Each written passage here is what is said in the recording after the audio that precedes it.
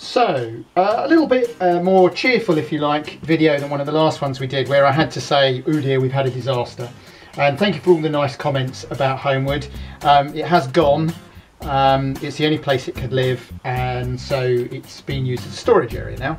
However, what it's given me the motivation to do is to carry on with a layout actually that nobody's seen yet that I've been quietly uh, abandoning and have realised I've got all the bits to put together quite quickly. So some of you may have seen a video months and months and months ago where I started making layouts out of this. Now these were great big wedges and chunks of corrugated cardboard from a neighbour's kitchen that was delivered, faced with corrugated cardboard. Very light, unbelievably robust. Go back and find the video. I expect Douglas will put a link in. And what I did was I built this baseboard and back scenes. Now this is all out of cardboard and without wishing to dump everything off it, it's ridiculously light. So I've got a very robust, very light baseboard for a nice compact little shunting layout. More importantly, it fits up the top of that cupboard there so it'll be out of the way and I can turn it round so it doesn't fade in the sun. It's been here in the heat and the track's not warped so I'm guessing it's fine. So what have I done? Well, we've got a nice traditional four and a bit foot by about nine inches shunting layout. It's all old Lima track and Lima manual points. It's a shunting layout. I've got to reach there. So there's really no point in having electric points. The factories are what got this going. I bought these on eBay for about five or six quid complete. They needed a little bit of tarting up. Um, I added a, a building I'd already got and that filled that lovely seam like a lot of these things, you, if you leave something long enough, I was in a, a wonderful model shop in Woodchurch in Kent called uh, the, model, the Model Shop. And she had these wonderful Peco industrial back scenes. So instead of this being yet another little country station with trees and everything, this is an industrial town. We've got our mill or our factory that's got two sidings. We've got a little goods shed. Now that came off Homewood. That came off Homewood that came off Homewood.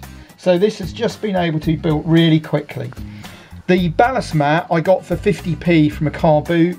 It's an old Hornby item and it's worked great. It's stuck down, the track's gone on and for an industrial scene it looks good. There's a little station in there and I'm going to do a video on how I'm going to build these various platforms. That's a little scratch built station I made some years ago. So again, this is all just bringing bits out that I've got in the box ready to go. And this is the wonderful, excellent Hornby shunter. Runs really slow. Again, there's a review online of it. And effectively, that the layout's been built around that. And I can also use a couple of my really good slow running steam 040 steam locos. So it's really just a nice big, you can do a bit of a pan in the factory and everything. Simple shunting layout with lots of operating potential because that's going to have coal. This is goods in and out. There's a goods shed there. There's another coal merchants. There's passenger trains. If I run mixed passenger um, and freight and different freight trains, I can have a lot of fun with this. It's long enough to get four or five wagons in so I can run a whole train in and shunt it. And it's only going to take me, I guess, about a couple more hours to build the whole baseboard, as opposed to the huge amount of work that went into Roselands Hill, only took me half an hour. So I think the whole thing will be built in about three or four hours. It will literally have cost me £10 to build, something like that, because the points, a little bit more, the points are about £2.50 each, so I suppose there's £10 worth of track there. There might be £10 worth of building scratch built. So the whole thing probably about £20 very lightweight, very robust. Um, as always, let me know what you think.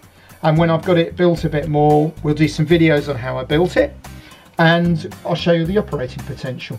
So a little bit of good news, a layout that's on, on the way. Um, as always, please like, comment or subscribe.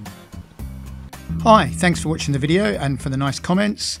Uh, click on the left for a previous video in this series, click on the right for another video you might enjoy, and please don't forget to click to subscribe, like, comment, etc. Thanks again.